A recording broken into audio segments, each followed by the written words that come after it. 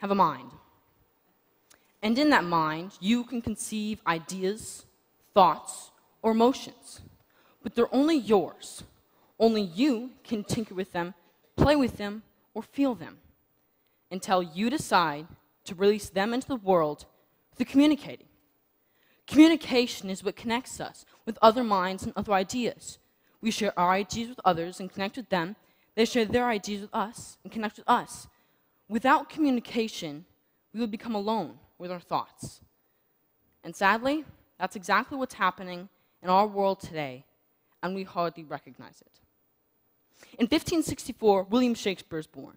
He is widely regarded as the greatest writer of all time. He used such vivid language and diverse vocabulary that I find it difficult to understand him. Every word he wrote was carefully chosen to clearly convey his message. In fact, he considered the English language to be too limiting. So he invented 1,700 new words so he could say what he wanted to say. Across an ocean, 200 years later, give me liberty or give me death, Patrick Henry demanded of the Virginia Convention in 1775. Using the power of words as an orator, he drove people to action, to revolution.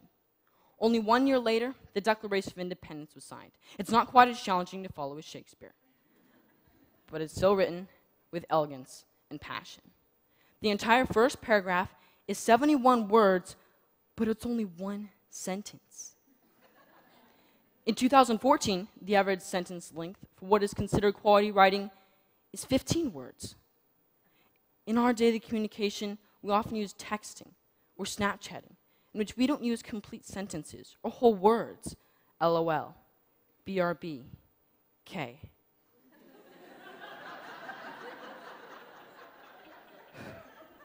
Meaningful communication is slowly dying. Even when speaking face to face, we use words that are simple and shallow. Instead of painting that vividly beautiful picture in the minds of people we communicate with, we have a habit of filling space with empty words. It seems to me that there are three black holes sucking the life out of communication. They are um, you know, and like. Um, here is an example of these three words that are like devastating to communication. They like completely distract from uh, the thoughts and ideas you are like trying to convey.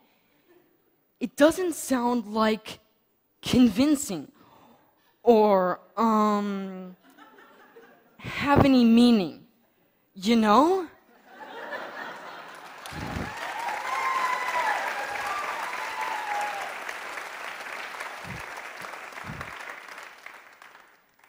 eradicating these three words, um, you know, and like, will immediately make you seem more intelligent and transform the way you communicate.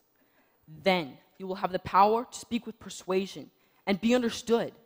Then you will have the ability to be clear and concise so your message is heard.